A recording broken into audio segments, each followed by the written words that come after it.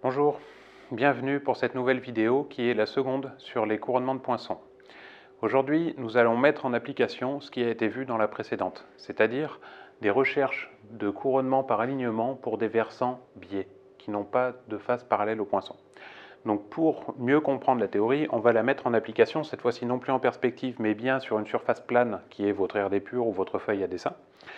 Donc pour l'exercice, j'ai choisi un pavillon assez irrégulier avec cinq versants, une noue, quatre arrêtiers ici, là et là, et un poinçon qui est disposé en fonction de la conception de la charpente, qui pourrait être différente. Moi j'ai choisi de mettre une ferme porteuse ici et une ferme de raccord, euh, donc la ferme porteuse d'équerre à la ferme de raccord de nous qui est là.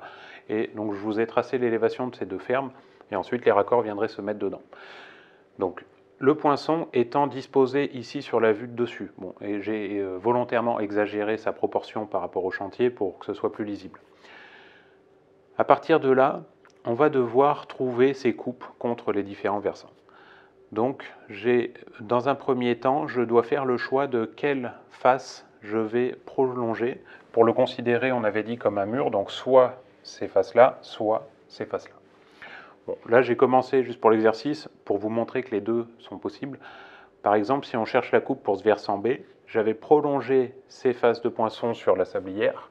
Je les ai remontées sur mon plan de trave en élévation, qui est donc ma ligne de trave. Puis ensuite, pour avoir leur directrice, j'ai utilisé ce point de couronnement. Donc, puisqu'on connaît les pentes sur un chantier, on peut calculer la hauteur du point de couronnement et le replacer en élévation. Donc le point bas correspondant, c'était celui-ci que j'ai envoyé sur ma sablière, puis remonté sur ma ligne de trave. Ce qui m'a donné ici, bon, moi l'élévation de ma demi-ferme, mais qui est la directrice de ma coupe. Et donc j'ai eu qu'à renvoyer mon us et mon housse en parallèle. Ce qui veut dire que là, ma coupe serait dans l'autre sens, là, non apparente. Voilà en gros le schéma de base. Bon, maintenant, pour vous montrer surtout qu'on peut faire toutes les coupes sur la même élévation et pour bien comprendre l'intérêt de la méthode dite par alignement, je vais moi utiliser ces faces-là et on va refaire la manip sur cette élévation pour tous les versants. Donc si euh, j'oublie cette épaisseur de poinçon, je ne considère que celle-ci. Ce poinçon devient un mur que je peux prolonger indéfiniment et que je vais retracer sur une vue de côté qui est ici.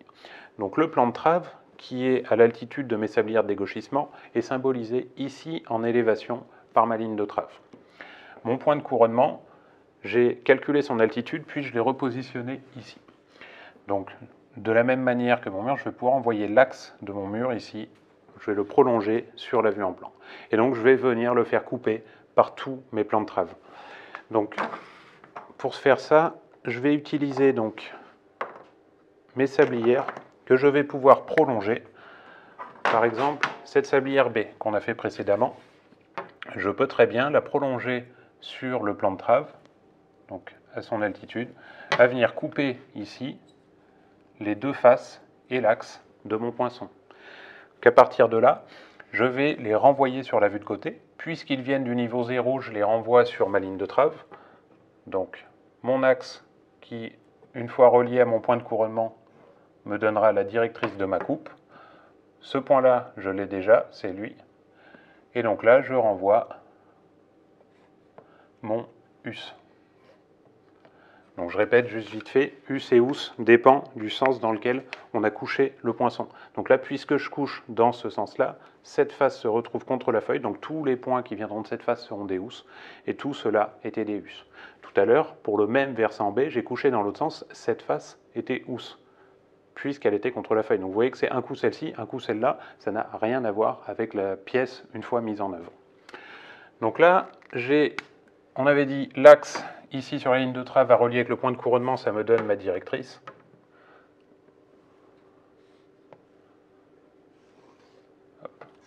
Donc ça, c'est la directrice du versant B.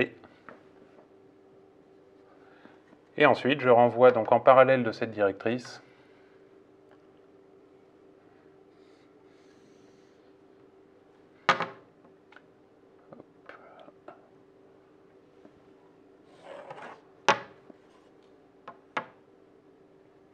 Voilà. Donc mon euh, us et mon housse B, qui me donne ici, donc là elle serait en pointillé, la coupe de mon versant sur la vue de côté. Voilà, le principe de base. Donc je n'ai plus qu'à faire ça bah, pour tous les autres versants. Donc là, si j'avais le versant D, donc j'accélère un peu, qui est là, de la même manière, je vais le reprolonger à couper mes deux faces et mon axe, puis renvoyer ça sur la ligne de trave. Donc ici, le point bas de ma directrice, là, mon us, et ici, mon housse.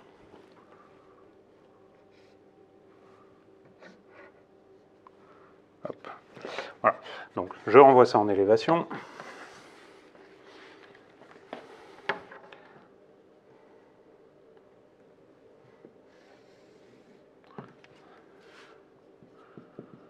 Directrice, cette fois-ci du versant D.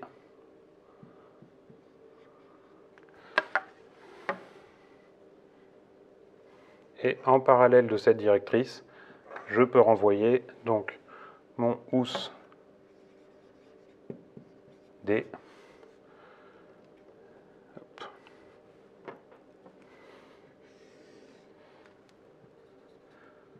Et mon us D. Là, j'obtiens donc ma coupe qui est cette fois-ci apparente dans ce sens-là sur le versant D. Donc là, j'ai déjà une, deux coupes, plus le versant A et C. Eux, les faces sont parallèles aux faces de poinçon. C'est-à-dire que mes points que j'ai envoyés, avec ici l'axe, le hus et le housse, quand je vais les renvoyer, les trois vont être confondus. Et donc mon chevron d'emprunt devient ma coupe, dite tournice, comme on avait ici. Ma coupe est d'équerre à la face du poinçon. Et donc ça, c'est directement mon... On pourrait le marquer us plus housse, éventuellement, du versant A. Donc ça, c'est ma coupe A. Et le chevron d'emprunt C, c'est la coupe D. Euh, pardon, C.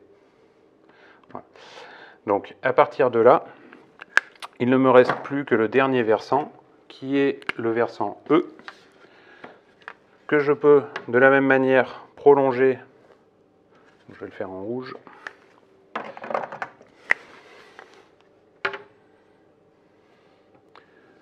prolonger ici, hop, hop, hop.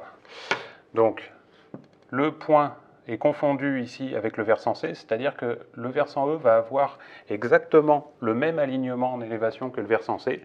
Par contre, au lieu d'être tournis, bah, il va y avoir une valeur de décalage que je connais en renvoyant mon us et mon us.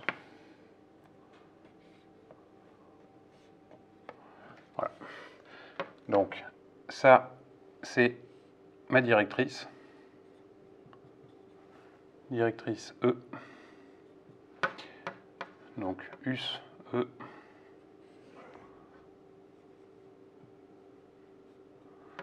Et US E.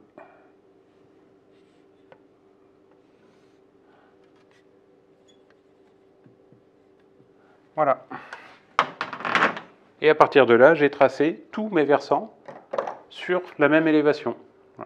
Donc ça, c'est, vous voyez déjà euh, bien fourni à entrer, et ça va vous imposer d'avoir donc soit un code couleur, soit euh, au moins un marquage euh, parfaitement établi qui correspond bien au versant pour savoir qui couper, qui rembarrer et qui couper en premier. Parce qu'ici, vous avez donc le versant E et D qui forment une noue. Et si jamais vous faites tomber le versant en entier, bah, vous allez faire tomber dans la chute les versants d'en face. Donc je vous conseille dans ces cas-là de commencer par les versants de nous. Donc vous taillez le raccord entre D et E et vous vous arrêtez dans le fond de rencreusement pour tailler ces premières coupes. Et ensuite, à partir de là, seulement vous taillez les arrêtiers d'en face. Mais surtout, quand vous allez sur une noue, ne taillez pas le versant en entier, taillez, arrêtez-vous bien au raccord avant d'aller plus loin. Voilà, petite pause et on refait tout de suite une autre mise en application. Nous voici dans la dernière partie de cette vidéo pour vous transmettre quelques notions importantes dans certains cas de figure un peu particuliers. Pour vous expliquer tout ça, j'ai choisi donc un pavillon à trois versants, un poinçon encore euh, largement disproportionné pour les besoins de l'exercice, et donc des faces parallèles aux sablières des longs pans. Ça, c'est un cas particulier qu'on va retrouver assez souvent.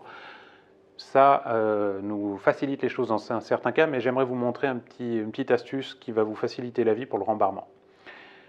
Notre, euh, nos faces, là, on a dit qu'on pouvait considérer ce poinçon comme un mur, l'envoyer à couper la sablière, et donc dans ce cas de figure-là, quand le chevron d'emprunt est parallèle aux faces de poinçon, on a le point bas de directrice, le hus et le housse qui se retrouvent confondus, et donc notre élévation de chevron d'emprunt va nous, va nous traduire notre coupe tournice sur le versant.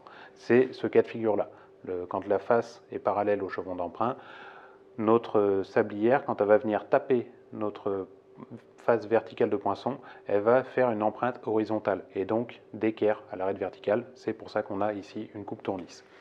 Donc ça, c'est la, solution un peu de facilité d'aller le rembarrer là, sauf quand on a des pièces volumineuses et que ce poinçon, par exemple, on voudrait le coucher une seule fois sur notre élévation de fêtage et avoir toutes les coupes sur cette vue. Et eh bien dans ce cas-là, il est possible de retraduire cette coupe-là ici. Pour ça, on a dit que notre euh, versant va venir taper ici horizontalement notre face de la pièce de bois.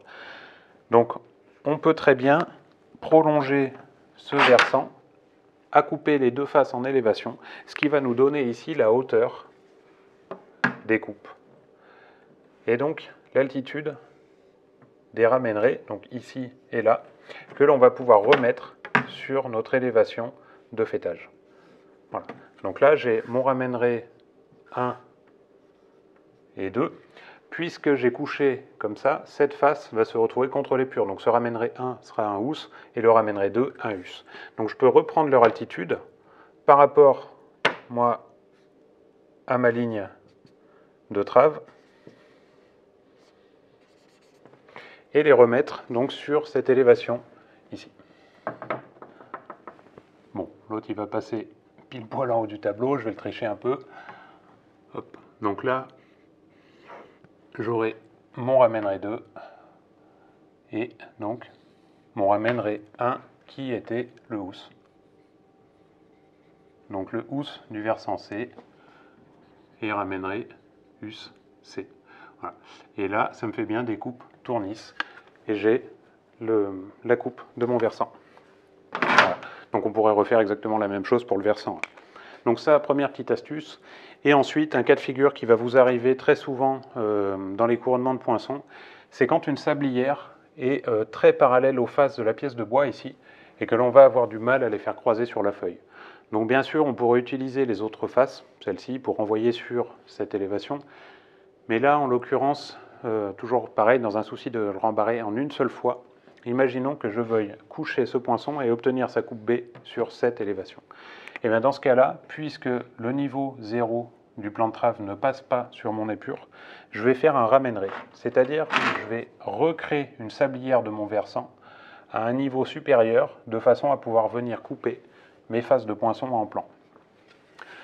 Donc, moi je vous conseille toujours de faire d'abord le ramènerai en plan, à venir couper nos faces de poinçon là où ça nous arrange. Donc, c'est un trait parallèle à la sablière, ici, à venir couper nos deux faces et prolonger le bien jusqu'au chevron d'emprunt du versant pour connaître l'altitude de ce ramènerai. Donc il est venu couper mes faces de poinçon là et là, et également je vais avoir besoin de mon axe ici. À partir de là, quand je l'envoie par rapport à la ligne de trave sur ma pente, ça me donne ici son altitude. Donc je vais pouvoir retracer ici la hauteur, enfin déterminer la hauteur de ce ramènerai que j'ai besoin de connaître pour remettre sur l'élévation. Donc je vais prendre à la pige ou le mesurer, puis la repositionner sur cette élévation. Voilà, mon ramènerai que j'ai besoin de connaître ici. Donc je peux l'appeler par exemple ramènerai B parce qu'il appartient au versant B. Et donc cette nouvelle sablière qui vient couper mes faces, cette fois-ci, j'ai des points à la bonne altitude. Il me suffit de les renvoyer à une altitude correspondante sur l'autre élévation. Donc là, je renvoie mon axe qui sera mon point bas de directrice. Voilà. Mon housse.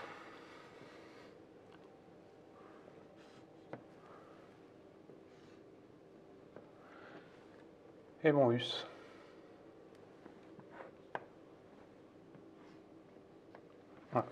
Et donc ces points, qui étaient non plus contre la feuille, mais ici en hauteur, puisque je les ai envoyés à la bonne hauteur en élévation, je peux directement les relier donc avec mon point haut pour avoir ma directrice et mes coupes.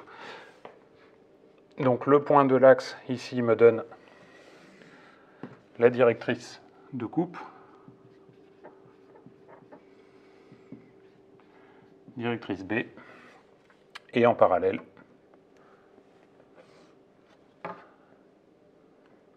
j'obtiens donc